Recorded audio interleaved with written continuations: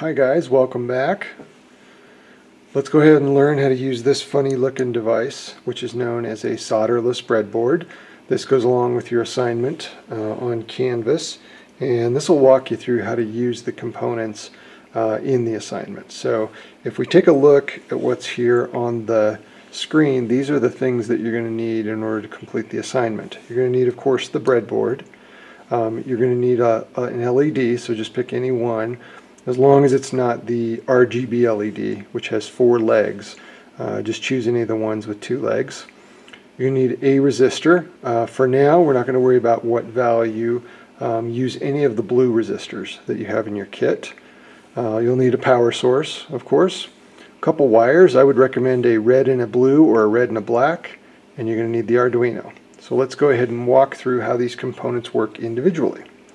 So let's start with the breadboard and I'm going to set all the other stuff aside for a minute because the point of this is to learn how to use the breadboard and um, as it shows you in the diagram uh, on this assignment these holes are all connected to each other in different ways and so I like to use a different breadboard when I teach this. I like to use this demonstration board um, that I've made because it helps us understand how these wires are all connected and, and how it actually works. So if I flip it over, I've removed some of the covering uh, of the breadboard and you can see on this side underneath it there's a bunch of wires running in different directions. So I'm going to pull this breadboard back up. We'll do side by side so you can kind of imagine what they look like. Um, along the rows which are numbered and lettered in a grid system. So for example this is row 1 right here, and this is uh, column A. So this hole right here on the breadboard is 1A, B, C, D, E, and it goes, on this breadboard it goes from 1 to um, 63 is the last row.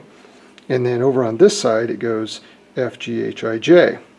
You'll notice this channel running down the middle. That's significant because if you look at the breadboard that's turned upside down, this is, well, this would be row 1 over here, A, B, C, D, E. You'll notice that only those are connected. The other row 1 uh, holes are not connected. So if I plug something into row 1A, it'll connect to row, uh, hole 1, sorry, if I plug something into hole 1A, it'll also connect to hole 1B, 1C, 1D, 1E, but not these over here, because that channel splits it. So the way that looks is basically you take one of your prototyping wires like this one and you just plug it in like so. And then you take another wire or another component and you plug it into one of the others. So that would be a connect two connected wires. You can see they're in the same row and then on the same side of the breadboard. If I move the blue wire over to here, they would not be connected. This is important because we use DC current, which stands for direct current. And direct current requires a complete closed circuit. If there's any openings in the circuit, things won't work. So this jump between this row and this row is an opening. There's nowhere for the electrons to go, and so that wire and that wire are not connected to each other. Then we'll also notice down the side, there are these uh, lines marked with a plus and a minus, and right next to them are other rows. This is important because as we get better and better at prototyping, we start adding more and more components. When we look at the Arduino, we're going to see that there's only one 5 volt pin uh, on the entire board. And if we have two components that each need 5 volts of electricity, how do we do that? Well, the way we do it is we take the Arduino and we connect the 5 volt pin, which is right here, to the positive row right here. And now every hole in this row is connected to that 5 volt pin. So if I needed to run some power to an LED, and then to a motor, and then maybe to a sensor, I can just run wires off this row onto the main part of the breadboard and use it. We can do the same thing with the ground. There are more ground pins on the Arduino, but there's still only three. One of them is right here next to the 5 volt pin. So if I plug that blue wire into that ground pin, and I plug it into there, now every hole in this row is connected to that ground pin. And we use ground pins a lot. We don't always use the 5 volt pin for everything that we do, but we always have to have a ground pin. So that's especially useful um, as we're doing our prototyping. So we're going to learn how to use this breadboard today and continue to use it um, really for the rest of the semester, um, or the rest of the quarter in this case. So remember this visual of when I remove the bottom, there's all these connections. These columns are connected to each other. Uh, the, the red side is connected to each other, the blue side is connected to each other. Same thing over here, and then all these rows are connected to each other going in the other direction. Hopefully that makes sense. Let's go ahead and do something with it. What we're going to do in this example is we are going to connect something to that 5 volt pin on the Arduino. And the way we have to do it is we have to complete, we have to make a complete circuit that is closed for electrons to flow. Electrons will flow from the 5 volt pin on the Arduino only if the circuit is also connected to the ground. So I like to start with the red wire connected to the 5 volt pin which is right here. So we can look at that and see that wire is connected to 5 volts. And we're going to pick any row on the breadboard to start building our components from. So let's go with row 30 right here. And I'll put that um, wire in hole 30A. Now, next thing we need to do is start putting some components in the circuit. Um, if I were to plug the blue wire into that row and then plug it back into ground, I would have a closed circuit, but I would have exactly the wrong kind of closed circuit.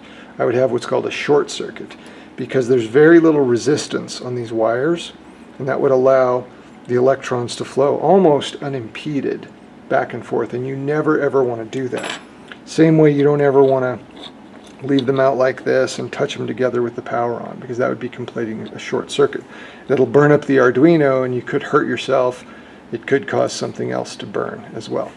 Um, so at the minimum you'd be replacing an Arduino um, but um, at the most you could hurt yourself. So don't do that.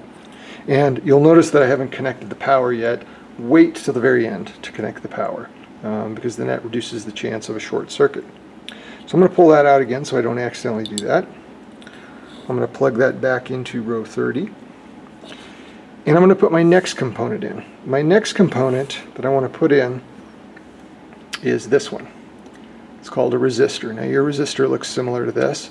Again, it doesn't matter which one you use as long as you're using one of the blue ones. Resistors, it, for resistors, it does not matter which direction you plug them in.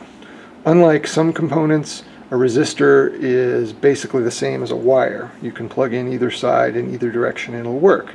So I'm going to put one end of the resistor in hole 30C. So now that resistor is connected to the red wire.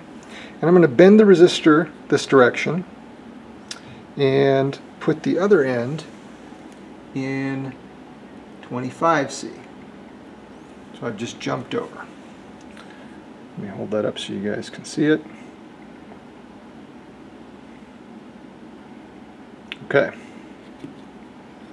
Next thing I want to put in there is a is the LED. Now, why did I put the resistor in first? Um, well, you may have looked at the uh, the um, remote assignment for today, and, and uh, one of the things in the video there shows that you always want to put a resistor uh, in a circuit with an LED because you burn the LEDs up if you don't. Um, the Arduino doesn't produce a lot of power, um, about one amp of current, but that one amp of current is enough to burn these up almost immediately. If you ever put one of these in a circuit and you don't have a resistor in the circuit, the chances are good that you're going to burn it up pretty quickly. Even if you don't burn it up quickly, it's going to wear out um, much more quickly than, than we've got in the class. So I'm going to connect this LED. Unlike the resistor, the LED has to be plugged in the right way.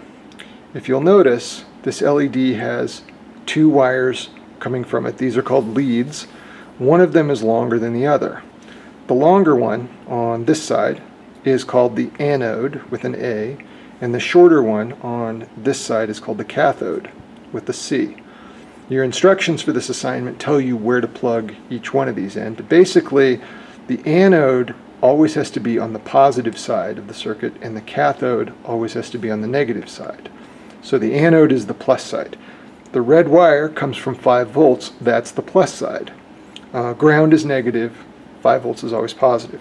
So which one goes in row 25? The anode does. So I'm going to plug the anode in row 25 in A, and I'm going to plug the cathode in 24 in A. And so now our updated circuit looks like that. Now, one thing left. We do not have a closed circuit yet because as you can see, electrons can flow from 5 volts to the resistor to the LED, but they're not going to do that until we close the circuit. And the end of the circuit is always going to be the ground. So I'll plug my blue wire into the cathode side. I'm just going to plug it into 24C like that and then bring it back to one of my ground pins right here. Any ground pin will do, they're all the same no matter what. So you can see where those are connected right there and you can see how they're put together right there. Now if we've done everything like expected and all our components are working, when we take our power and plug it in we should get some light. So I'm going to turn this sideways and I'm going to plug it in. And there we go. Immediately we have light. Um, we have a closed circuit. We have some resistance on the circuit. And um, we've used the breadboard to make our first prototype. So you give it a try. When you're done uh, and it works, go ahead and take a short video of you building the circuit, putting it all together and plugging it in.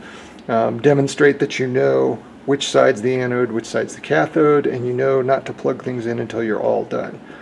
Then when you're done with that, if you want to try some other stuff out, you could do something like this. You could take your DC motor and try to plug it into a circuit instead of an LED and see what happens there. Um, DC motors, as you can tell by the wires, have a polarity setting just like an LED, so you need to be aware of which side's positive and which side's negative. Um, if you do everything correctly, the fan blades will spin for you. And if you want to make it even a little more complicated, see if you can figure out how to use this limit switch. Um, you won't damage anything if you put it in incorrectly. Um, it just won't work. But see if you can use the limit switch to turn either the LED off and on or the, uh, the DC motor off and on and make a little bit of a switched system there. So if you're interested in trying that out, there's a couple extra things you can, you can do that with. Um, all right, let me know if you have any questions, and we'll see you in class.